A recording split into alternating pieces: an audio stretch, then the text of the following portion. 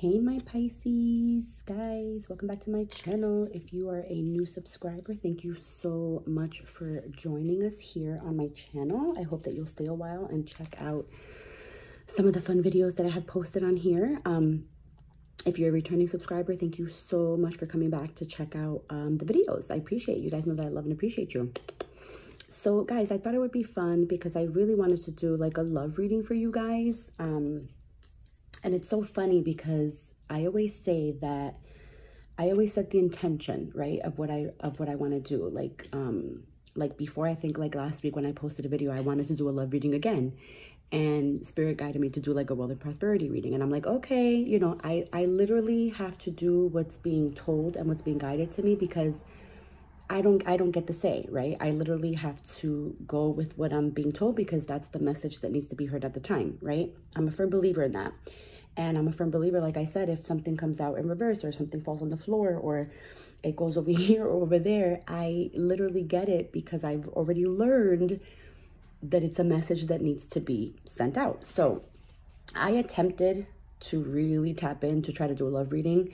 And even though this isn't particularly all about love, a little bit of love did come in, but it's almost like spirit keeps wanting us to get everything in check for ourselves first which I, i'm literally having chills right now because they're like like telling me like yeah um let them know. They want us to focus on raising our elevation which is so funny because that's the card that i pull for love but they want us to focus on raising our vibrations, elevating ourselves, and getting all of our stuff in check, like our finances, our creativity, our ideas that we have going. Anyway, bottom line is I attempted to do a full love reading, like a full love spread. They wouldn't let me do it. It's almost like they gave a little bit of um hope for like love or whatever, but they it, it all you'll see. You'll see. They're like speaking through me like Melissa, just get it out. Okay. So I pulled these cards, okay? Which I think is hilarious because they're all pentacles, which I think is hilarious. I pulled these cards. These are the three cards that wanted to come out. Guys, this is my Mystic Mondays deck, which I freaking love. I pulled these three cards, okay? And the overall message basically is that abundance is coming. We have abundance coming. There's things that are in our minds that are coming to fruition. Like I said, whether it's uh, creative projects, businesses, um, maybe going back to school, learning new things, you know, just basically elevating yourself. The main message is that they want us to focus on gaining financial stability first because they're saying that the love will follow. Because once we're financially stable and we've set something for ourselves, right? Like we've just basically come into our own as our own powerful being, the love is going to follow. Because once you do all that, it's almost like it resonates this aura, you know, that people just want to be around. And then you'll start to notice you'll probably, if you're single, you know, you'll probably start to get love offers, you know, or if you're in a relationship, your relationship will get better. You'll elevate yourself.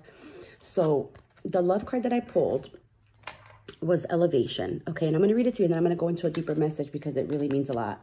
It says you are making the conscious decision to raise your vibration of love, which a lot of us are doing. I know I'm doing it because I'm ready for love to come in as well. You know what I mean? I've never been more ready. But that's basically what they want us to know. I'm going to read the message in a minute, but with the Ace of Pentacles, the Four Pentacles, and the Eight of Pentacles, basically they're just saying we're tapping into our creativity, we're tapping into our inspiration. Abundance is coming.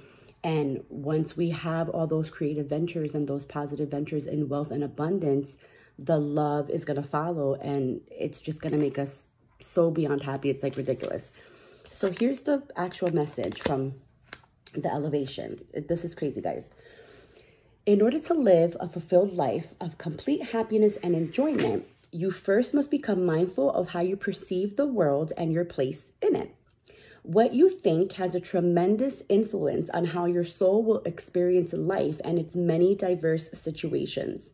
As magnetic beings, our souls work perfectly within the law of attraction and draw to us exactly what we create with our thoughts. In order to elevate your soul, your mindset may need to be spiritually alerted.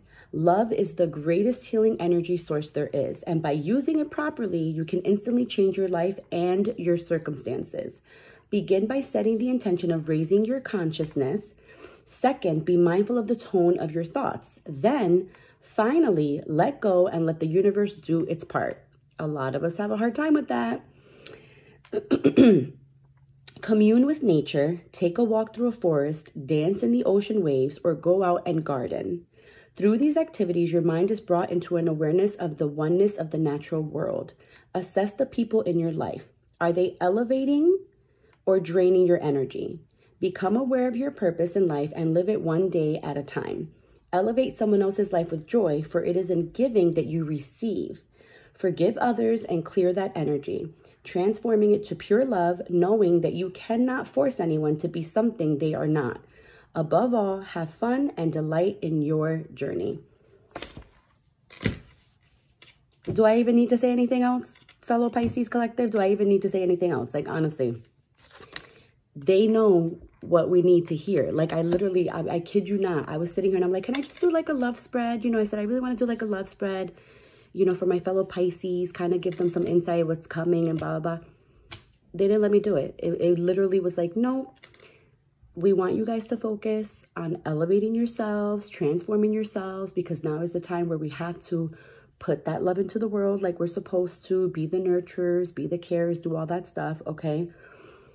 and the abundance is coming. And then once all that wealth and prosperity come, because hey, we're supposed to pay it forward. And us Pisces, we're like the first ones to pay it forward.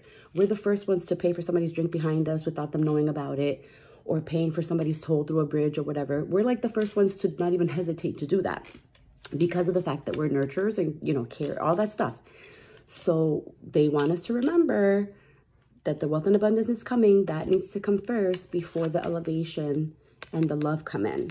And once that all happens, we have to pay it forward. We just got to keep going, pay it forward, and then we'll be good to go, guys. So I hope you guys enjoyed this message. I hope it resonates with some of you. I know that it resonated with me for sure. Being a fellow Pisces, it's definitely what I'm going through at the moment and what I'm working on. So just as a collective, I know that we're all going through this. So leave me a comment, let me know.